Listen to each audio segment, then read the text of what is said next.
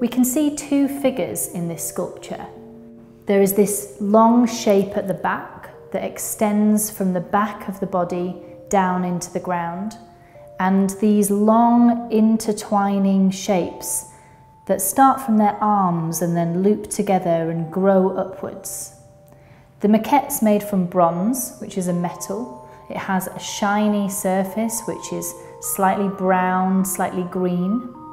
We know from photographs and drawings of the Festival of Britain that the final sculpture was eight feet tall and made from terracotta concrete.